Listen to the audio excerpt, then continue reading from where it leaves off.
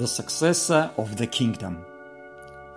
In ancient times, there lived a powerful king with his wife and two sons. The king and queen ruled the country wisely. The people loved them and the kingdom prospered. But as the time went by, they have had a serious problem. The sons have already grown and they had to make a decision who should rule over their great kingdom.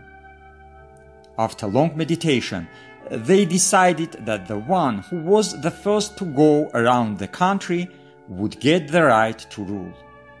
The people were sure that the victory would be given to the first son, who was able to make many miracles. For example, he moved in space with a great speed.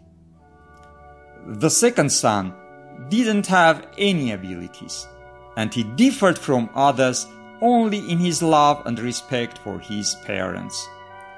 So the first son said, I am going to run around the country and come back in 10 minutes, and instantly disappeared, moving with great speed. The second son did not know what to do, because his maximum speed was equal to the speed of an ordinary pedestrian. But suddenly he had an idea. He calmly walked around the throne where his father and mother were sitting. Parents asked him with a smile, Why did you make a circle around the throne? We told you to move around our kingdom. The son answered, To me, you mean much more than the whole of our vast kingdom.